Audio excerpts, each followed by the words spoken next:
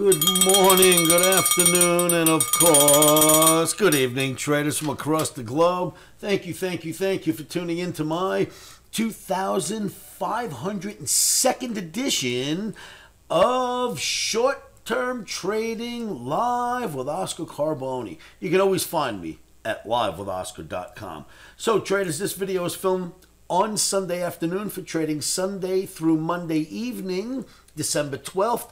2022. Remember that trading futures, options, stocks, ETFs, crypto, you name it, it's all risky. So never trade without stops and put those stops in first. All right, let's take a look at what's going on. So, for this week, this is Fed week. Jerome Powell and the Fed will come out this week and do an interest rate hike. We're hoping that it's only 50 basis points, meaning that the Fed is starting to see some light at the end of the tunnel. If they do 75, boy, that changes the landscape of what we expect.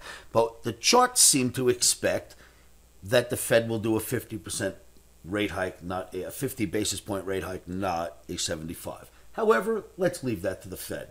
For trading on Monday, we're looking at the daily Russell 2000 daily bar chart. You've seen this in many videos. I kind of showed this to you 10 days ago or 7 days ago. We called it the Wall Street's four day money making secret revealed.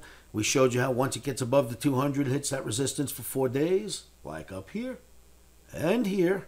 And our chance was here that it should drop, and it did drop all the way down into what we like to call this F flag right here. And now we're in an Oscarism known as an F flag, which is bearish. There is the 50 bar moving average here that will challenge, but for now, Omni is bearish. There's a bearish F flag and we are below the 200 bar moving average. So, looking at Monday, we're short term traders. For Monday, this looks bearish. Omni wants us to sell the rallies. Let's go look at the transportation average. Looks just about as ugly. You've got an Oscarism known as the F flag sitting here. We are well below the 200 bar moving average. Third, third failure. Sorry about that, kids. Third failure on the Dow Jones Transportation Average at the 200 bar moving average, right? Failed when it hit the light blue average, failed again when it hit the light blue average, got above it, got really promising, and then down into an F flag. But this is Fed week, you never know. We'll take it one day at a time. So now that we've looked at the daily, let's go take a look at what the weekly is showing us. Now, the weekly in that same chart, the transportation average, if you ask me, that's an ugly failure on Friday at the 50 bar moving average and the top of this resistance channel. What makes it ugly? Well, on Thursday, we were smartly above. Look here, let me blow it up for you. On Thursday, we were smartly above the channel and above the average. You see it right there? And looking good. Some kind of a look, I could draw it up for you. Watch this. Some kind of a nice flag was building right here, right? You're going, oh, wow, look, this is getting bullish. You got something going on. And then Friday happens. I'll add Friday back in and negate that mess, right? Out the window goes that thought process, drops below the average, and gets back underneath or into the ugly channel. So I say that was a very ugly close for the weekly chart, the transportation average on Friday. Just like I showed you, they're not so good on the daily. And let's go back to that Russell. Because the Russell doesn't look any better on the weekly.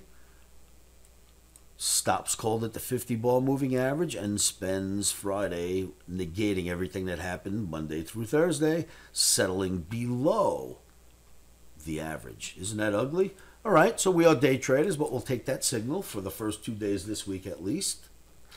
And then we can also look at something like this. We haven't looked at the E-mini S&P yet on the weekly. Yuck, yuck, yuck. Now, you've seen this chart in every video for the last, I don't know, 20, 30 videos because it's a weekly chart and each one of these bars takes a full week, like the others, to build. And we've recognized it has massive, ugly failures up here. Failure, drop. Failure, drop. Failure. And see the bar it leaves? then drop. Now look at that bar. It looks like this bar. And it looks like this bar.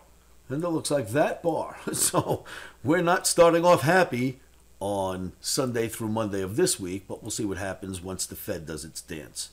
All right, so you've got that. Now let's just go back and remember that we are day traders and we do want to look at the daily. The daily bar on the Russell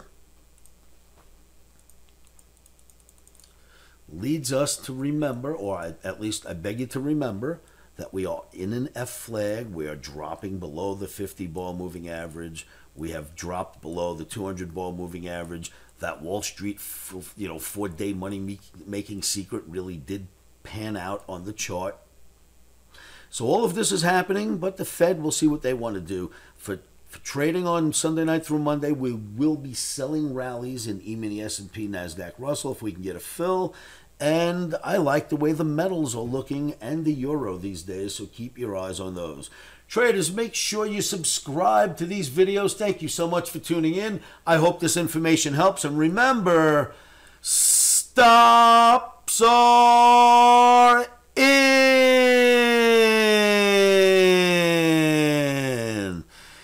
Emotions